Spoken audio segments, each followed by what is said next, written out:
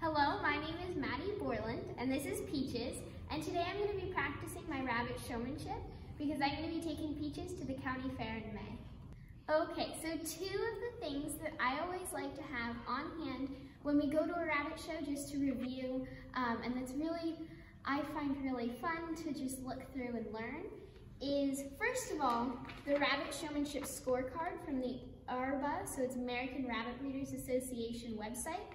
And this ha has all of the steps to what you're gonna go over in showmanship, the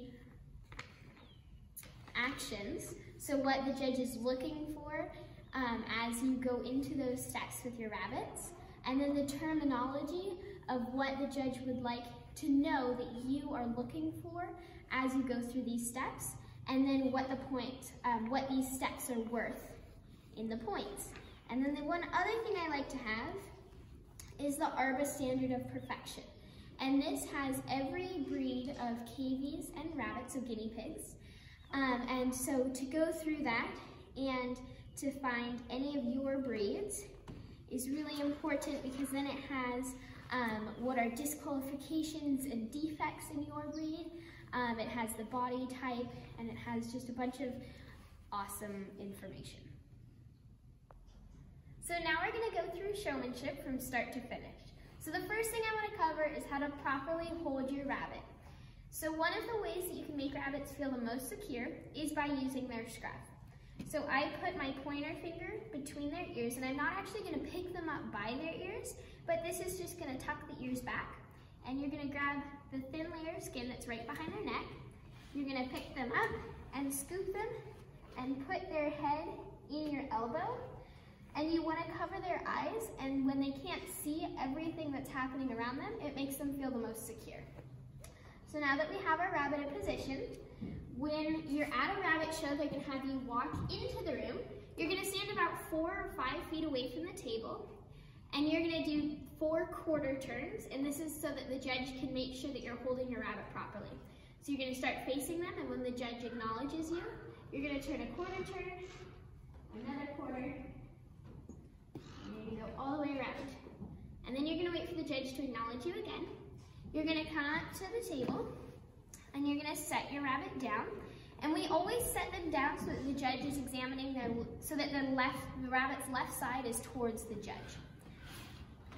So just like this. And then this is another reason why your standard of perfection is really important because then you're gonna have to know your rabbit's body type in order to know how to pose them. So my rabbit's body type is compact, but the Netherland Dwarf is her breed, and they stand slightly more upright. so we're gonna get her underneath herself.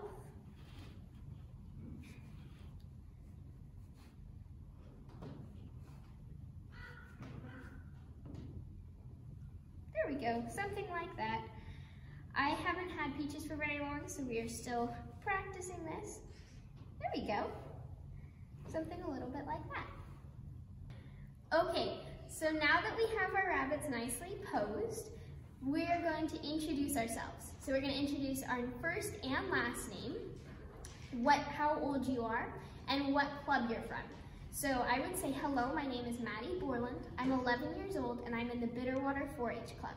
And this is my Netherland Dwarf is her breed, Tortoiseshell is her color, and she is a senior doe, which means that she is a female rabbit that's over the age of six months, and her name is Peaches. So going through that all together would be, hello, my name is Maddi Borland. I'm 11 years old. I'm in the Bitterwater 4-H Club, and this is my Netherland Dwarf Tortoiseshell Senior Doe Peaches. So the first part of our rabbits that we're going to examine are their ears.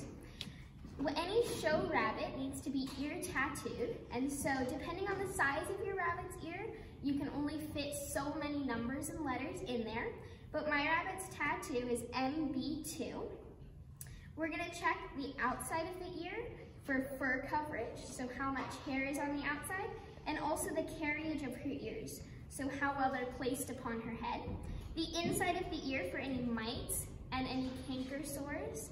We're gonna look at the thickness of the ear, the color of the inside of the ear, and any missing or torn portions of the ear, You're, this is a little bit of a long kind of thing to go through, so you're gonna say it as you're examining one ear, and then you're just gonna go ahead and examine the other ear as well.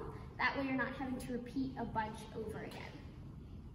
So after we finish the ears, the next thing we're going to examine is the eyes. To do this, we're gonna have to flip our rabbits over. So we're gonna start by turning our rabbits a quarter turn. We're gonna again grab their scruff, so our pointer finger in between their ears. Grabbing their scruff, we're gonna support their hind end, flip them over, and rest their body. and they are quite um, uncomfortable with this at first because when they're upside down, they cannot run away from anything. So this is something that you're really gonna have to gain your rabbit's trust with. But so we're gonna have them resting their body weight on the table. And then we're gonna check their eyes. So we're not gonna force their eyes open, but we're gonna use our, use our fingers to open it up. And I'm gonna be checking for the proper color, any blindness, signs of walleye, moon eye, weepy eye, or any signs of conjunctivitis. And then we're gonna check the other eye. And you wanna make sure that the judge can see the eye. The judge will be a little bit closer up. He can kind of move around a little bit to see, but you really wanna make sure that your hands aren't in the way. If I'm here examining the eye like that, the judge doesn't have the opportunity to see it. So we wanna make sure that we make this, whatever part we're examining, visible to the judge. The next thing I'm gonna be examining is her nose. We're gonna make sure that the judge can see both nostrils and we're gonna be checking for any signs of nasal discharge, and then any signs of snuffles. So that's a, um, a sickness that rabbits can get, and it's basically a really um, stuffy nose. But rabbits can only breathe through their nose, so that's really difficult for them because that um, turns into an upper respiratory issue. And then we're also gonna check the inside of the rabbit's legs because when rabbits have a runny nose, they're gonna wipe it with their legs. So even if their nose is dry, it could be that it's because they just wiped it and the inside of their legs are wet. So we're gonna check both of the inside of their legs and my, the inside of my rabbit's legs are dry. And then we're gonna be, whoop, and sometimes they'll turn back over and that's okay. We can just come back and flip them back over. Next, I'm gonna be checking my rabbit's teeth. I'm gonna be checking for any buck teeth, wolf teeth, peg teeth, or broken teeth and any signs of malocclusions. So that's like unaligned teeth, and that creates that they can't eat properly, their teeth will get overgrown, and that can cause them to be quite thin. So now we've checked their teeth, we're gonna go ahead and check their belly. We're gonna check any, for any abnormalities, any pigeon breast, mastitis, any abscesses or blemishes. And we're also gonna check under the rabbit's jaw Sometimes um, female rabbits in a lot of other breeds will get dewlaps, and that's um, they use that so that when they have babies, when baby bunnies are born without hair, they pull fur from their dewlap to keep their baby bunnies warm. But in Netherland dwarfs, they're actually disqualified if their breed has a dewlap. So that's again why it's really important to know your breed standards. But I'm still gonna go ahead and check under the jaw, make sure there's no blemishes, abscesses, or abnormalities. Okay. And then we're gonna check our rabbit's front legs and feet. We're gonna first check that their legs are straight. And then we're gonna start with the front toes. And we're gonna make sure that she doesn't have any broken toenails or missing toes, broke, missing toenails, any miscolored toenails. So sometimes they'll have a couple black toenails and a couple white toenails. Depending on the color of your rabbit, they should be either white or black. So all of my rabbit's toenails are black. And then you'll also be checking in the whole leg, you're gonna be checking for bone density. You're gonna check for the dew claw, which is that fifth toe that they only have on their front feet. And you're also gonna be checking the pad of their foot to make sure that it doesn't have any sores from the wire cages. And then again, we're gonna check the other leg. Okay, and then we're gonna check their back feet. But if you notice, the back feet are way back here and the judge is gonna be sitting in front of us, so that may be a little bit hard for him to see. So we're actually gonna turn our rabbits over. We're gonna turn them around. And then turn them over this way. Now the judge can easily see their back legs. So we're gonna, again, we're gonna check to make sure that they're straight. We're gonna check for any missing or broken toenails, for any mismatched colored toenails, and then for bone density. And then they can get um, a quite common thing that rabbits can get is sore hocks, especially when they're on wire cages. So we're gonna check and make sure that they don't have any sore hocks. Awesome. And then we're gonna check the sex of our rabbits. So my rabbit is a doe.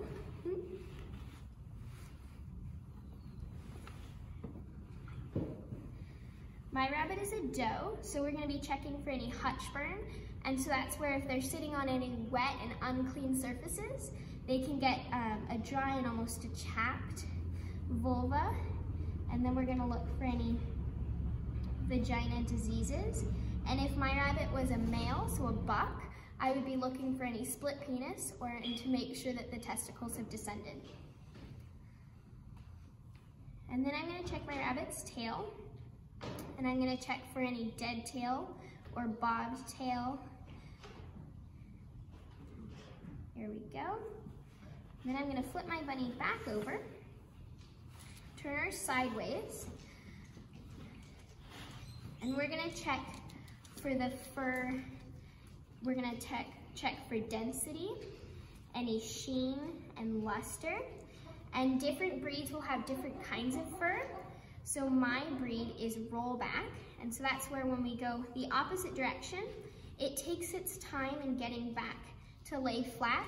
There's rollback, flyback, wool, um, Rex, and a bunch of other ones and so we're gonna check that your breed has the proper hair. We're also gonna check for if they're molting. They'll be losing a bunch of hair and their um, fur also won't be to the, um, it won't be as clean and as shiny as it usually is. And then we're gonna check for what's called the ring. So if we blow on their fur, I don't know if you wanna come in and see this, there's three layers to Peach's um, fur, there's the darker brown, there's a really thin layer of light brown, and then there's white. And then we'll check the skin, and it's pink. And we can also make sure that there's no mites crawling around. And so we're gonna check for the proper colors and everything like that. And now we're gonna do a full examination of our rabbits. So again, having the left side towards the judge, we're gonna pose our rabbits.